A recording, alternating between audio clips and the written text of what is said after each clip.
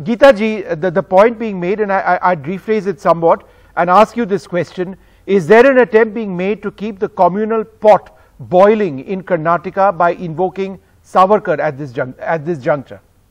Yeah, Vishnuji, please give me Go ahead, time please go ahead. You know, Yes, I, yes. I, first of all, you know, Mohammad Chagla, who was a minister in uh, Nehru's cabinet, in his book Roses in December, had written that I am a Muslim by religion, Hindu by culture, and an Englishman by education.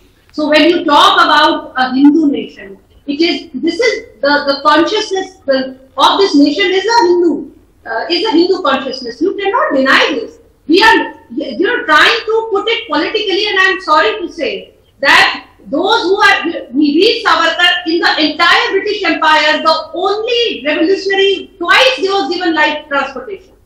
Now, such an individual that is being uh, Congress uh, representative is saying that they feel that they are ashamed of the fact that the posters of Veer Savarkar are being put, and it was Mr. Siddaramaiah's government who had made uh, someone like Mr. Tipu Sultan as the icon of Karnataka.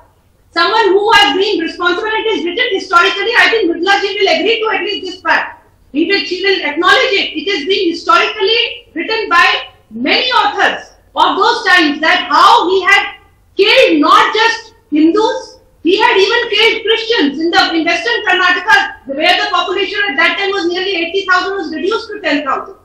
And in, in a town called Melkote, people do not, those, the Iyengars over there, Yes, no. Mandyam Iyengars, they do not celebrate Diwali because they, you know, more than 1,000 of children and men and women, they were butchered by Tipu Sultan. Such a person was tried to and showed as an icon of Karnataka by the Congress government. No, but And ma'am, when, it's- when Mr. Vishnu, Savarkar, why is it that yeah, Professor Mukherjee, half a We second. are acknowledging, we, you you see. why are we acknowledging Tipu Sultan when we should be way. In the acknowledging Veer Savarkar is what you are saying?